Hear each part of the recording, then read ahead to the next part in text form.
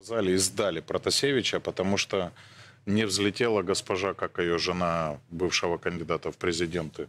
А, д- д- д- опози- теж Світлана опозиціонери, на Тихановская. выезде да. Беларуси. Тих- ті- как Тихановская, Тихановская. да, да, вот да, вот не да. получилось, да, теперь нужна новая сакральная жертва. Друзья, давайте, давайте по-другому представим заголовки. Представьте себе, э, что над воздушным пространством Великобритании или Чехии садят самолет э, с Петровым и Башировым на борту. что происходит? Победа Ми-6. Победа там чешских спецслужб. Молодцы, вот как работают. Ребята, это КГБ. Надо тоже понимать, да?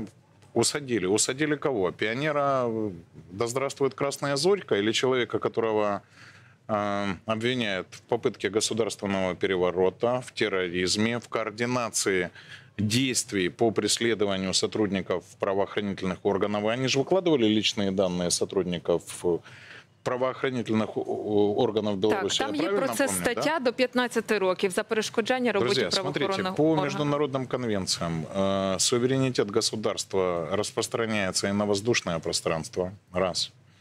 Второе. э, давайте объективно, это не первая посадка э, властями самолетов, да, была посадка, по-моему, президента Боливии, да, где-то в Австрии. Ему просто по пути следования все страны неожиданно закрыли воздушное пространство, потому что думали, спецслужбы Сноуден, Соединенных так? Штатов думали, что у него на борту находится Сноуден. Почему-то европейские страны, кстати, совершенно случайно члены НАТО, вдруг закрыли воздушное пространство, посадили самолет, обыскали самолет президента другой страны. Правда, потом Ну, сказали... то ж в цілях демократії.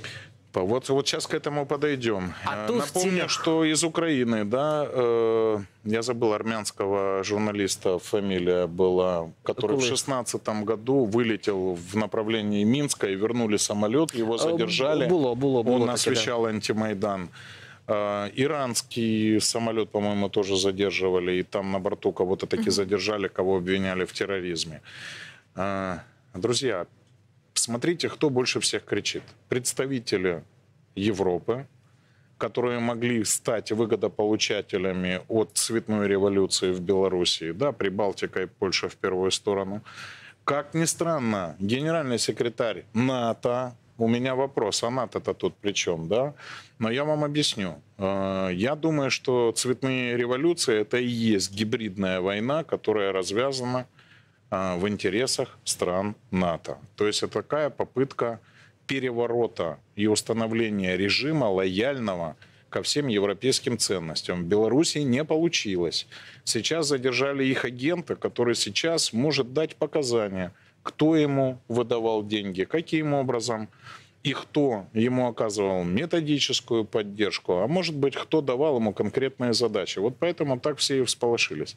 Я думаю, надо Тут дождаться. не, не тільки всі Євгенію Володимировичу, а навіть і Сполучені е, Штати, бо там вже вимагали відповідного розслідування. Але е, от на банковій е, теж відреагували. Там примусову посадку рейсу оцінюють як прояв міжнародного тероризму, за словами радника голови офісу президента Михайла Подоляка. Головним організатором примусової посадки літака є Росія. І також він За порівняв окошком снег и посадку град, літака Ryanair в значить, Мінську Путін зі виноват. спецоперацією щодо вагнерівців. Я такого не чула. Дорогие мои друзья, а, вот когда мы станем властью, и когда сбежит из нашей страны Шерочка и Машерочка, я думаю, вы дадите нам мандат вернуть их любой путем, любым путем. Я имею в виду Зеленского и Порошенко.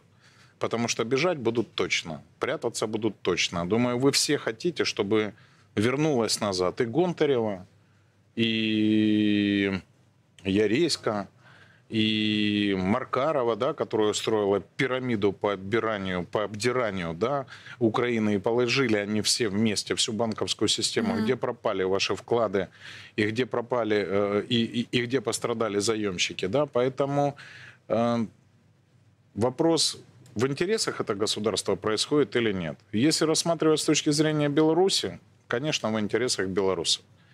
Конечно же, они задержали инструмент политического рейдерства и государственного попытки неудачного государственного переворота.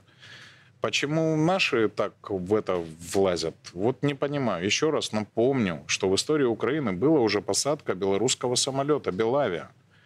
И тогда никто не кричал. И когда задерживали президента Боливии, тоже эти страны почему-то молчали о демократии, потому что они решали свои задачи. Мир, к сожалению, двуличен. А, Наблюдается политика двойных стандартов, но я думаю, что Лукашенко справится. Друзья, государство не плюшевый мишка. Государство должно защищать выбор большинства и интересы большинства. Только в Украине оголтелое меньшинство может диктовать повестку дня и менять власть в стране, но правда при поддержке все тех же обеспокоенных товарищей, которые сейчас беспокоятся за нехту. Ви знаєте,